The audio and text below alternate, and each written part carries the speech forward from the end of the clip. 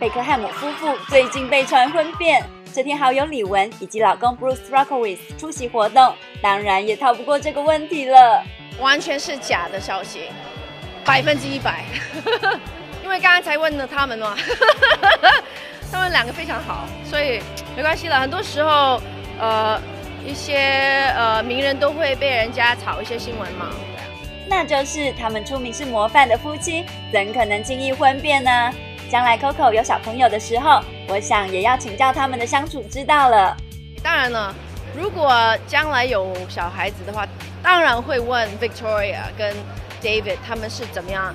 呃，因为我觉得他们真是模范的夫妻，然后呢又非常非常成功的爸爸妈妈，然后呢，那他们四个孩子又特别乖，很可爱，很乖，很有礼貌，所以 交到有方。唉。不要说将来那么远了，这天 Bruce 的妈妈也一起到场。你不急，老人家也急了。呃，小孩方面其实还是在努力当中，那顺其自然吧。如果真的上天，呃，给我这个机会，我会非非常的珍惜，因为现在很多身边的朋友刚好他们都生了。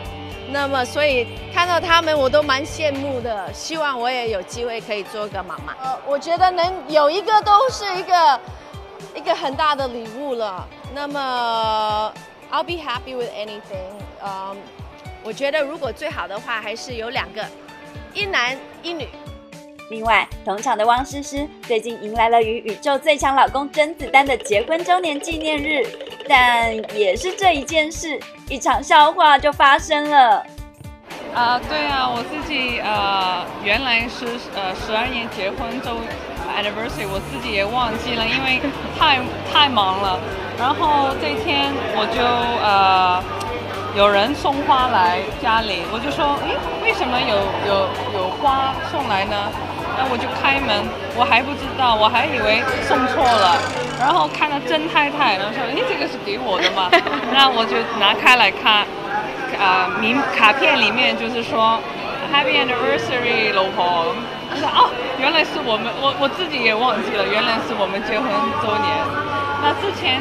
呃，每一年都是我提醒我老公的，这一年是他自己就知道了，对，记得。我说，哎呀，我做到了。